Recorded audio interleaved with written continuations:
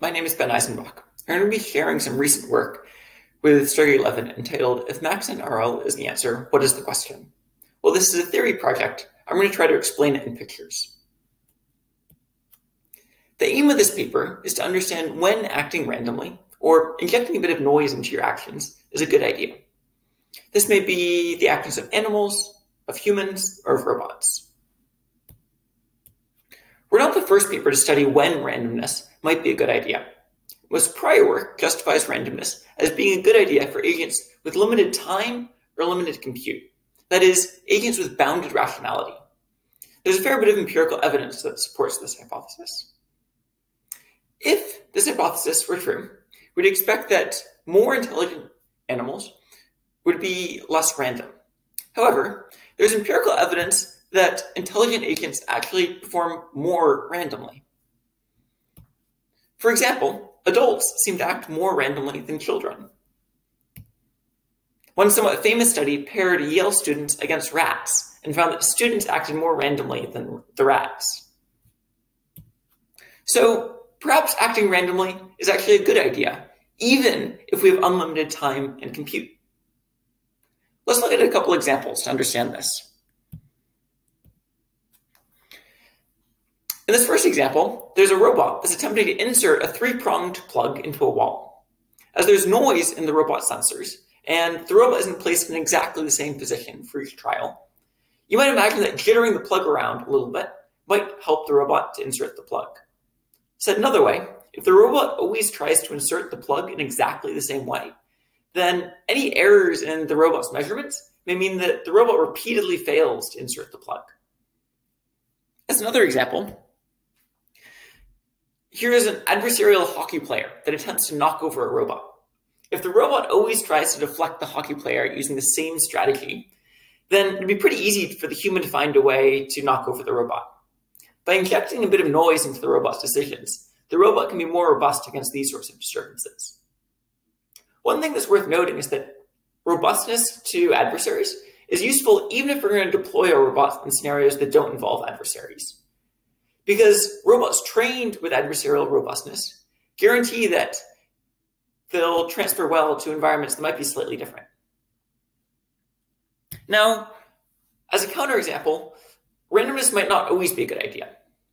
For example, in a pre for precise manufacturing settings, we might not want our robots to employ random strategies. So the main, taking these three examples together, the core idea of our work is that randomness is a good idea in some settings where we have uncertainty. This includes uncertainty in observations, includes uncertainty in, about the dynamics or about the reward function, but it won't be applicable, to, randomness won't be useful in settings where we want really precise control, where there's no uncertainty. So to formalize these results, we to formalize this idea of acting slightly randomly, we look at we look through the lens of maximum entropy reinforcement learning. Whereas standard reinforcement learning says that you should choose whichever behavior has the highest likelihood of solving the task. Maximum entropy reinforcement learning says that you should sample behaviors proportional to the likelihood that they solve the task. For example, if you're in a new kitchen and need to look for a box of sugar, you shouldn't repeatedly look in whichever drawer is most likely to contain the sugar. Rather, you should Look at all the drawers, prioritizing those drawers that you think are more likely a priori to contain the sugar. So we're going to look at three formal results from our paper. The first result says that maxent RL, that is acting randomly, is optimal, ensures that you are robust against perturbations to the reward function.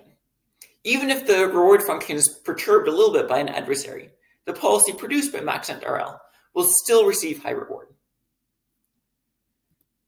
The second result is that maxent RL is robust to disturbances in the dynamics. Said another way, the policy produced by maxent RL will still succeed at solving tasks, even if the adversarial hockey player comes in and knocks the robot around a little bit. Uh, and the third setting where maxent RL is optimal is settings where the agent must solve an unknown task. For example, consider a robot that aims to find a cookie as quickly as possible.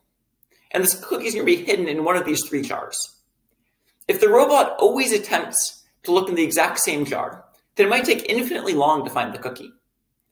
In contrast, an agent that includes some amount of randomness guarantees that it will eventually find the cookie. So there are a couple of takeaways from this work. Most immediately, this work suggests that maxent reinforcement learning, that is, just adding a bit of noise, might be a really simple and performant baseline for work on exploration, on meta learning, and robust control. But perhaps more broadly, our work suggests that randomness might not be an artifact of an agent's ignorance, but might rather be an ingredient for intelligence. Thanks.